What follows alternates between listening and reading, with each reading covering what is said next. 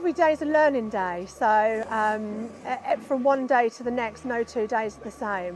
I think it kind of allows you to you know, learn while you go. It was just a, a, massive confidence boost. For me, being able to apply what I'd learned in the classroom in my job on a daily basis was really beneficial.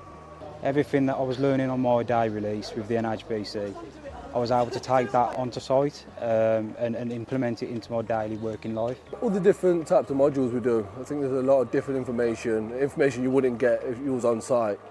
The way the assessors have, have taught me, showed me, um, I'm able to put my hands to most things now on site and, and, and help the, the, the trades.